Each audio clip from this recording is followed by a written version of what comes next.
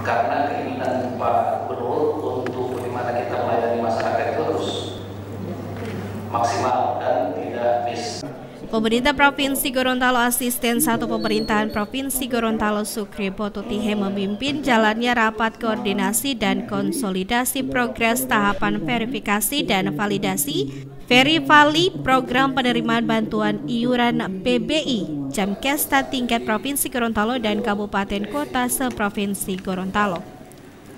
Dalam rapat yang berlangsung di ruang Duluhupa Kantor Gubernur Gorontalo, Kepala Bapeda Provinsi Gorontalo Budianto Sidiki dalam pemaparannya mengatakan, sejauh ini baru 4 OPD pemerintah Provinsi Gorontalo yang memasukkan hasil verifali peserta PBI yakni Dinas Perhubungan, Dinas Kominfo, Biro Umum dan Bapeda, Budianto Sidiki mengharapkan agar OPD pemerintah Provinsi Gorontalo dan pemerintah daerah Kabupaten Kota seprovinsi Gorontalo agar segera memasukkan daftar Verifali melalui sistem informasi kesejahteraan sosial Next Generation Kementerian Sosial.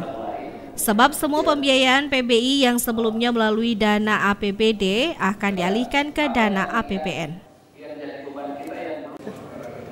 Kenapa Bapak Ibu sekalian?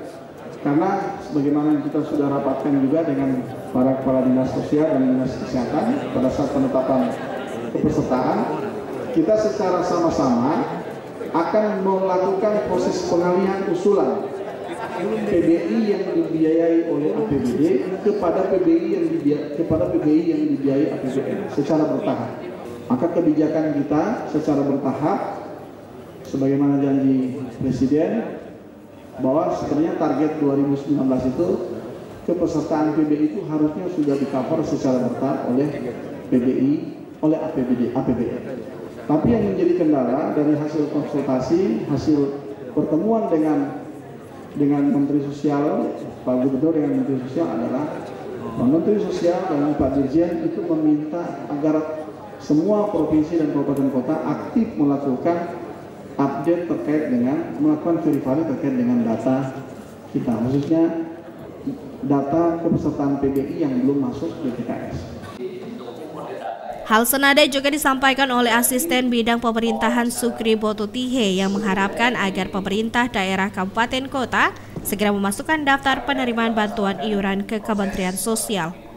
Sebab yang seharusnya melakukan pemasukan data tersebut yaitu Dinas Sosial Kabupaten Kota.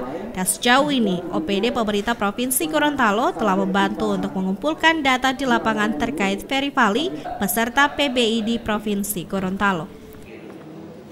Per tribulan itu batas tanggal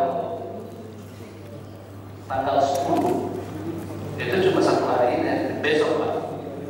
Nah ini yang diharapkan untuk kita maksimalkan oleh teman-teman kabupaten karena pimpinan OPD dinas-dinas provinsi ini sudah turun dan tinggal sekarang ini sudah selesai tinggal ya mas yang lain-lain tinggal di, disempurnakan.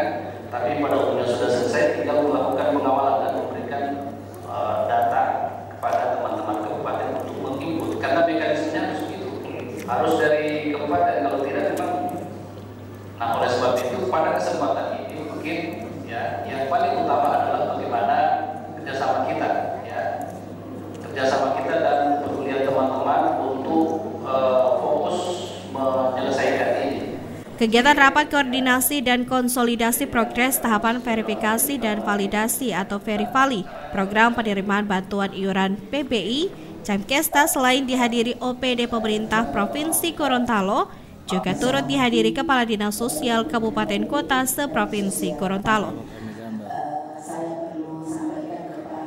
Wahid Yunus, Gorontalo TV melaporkan.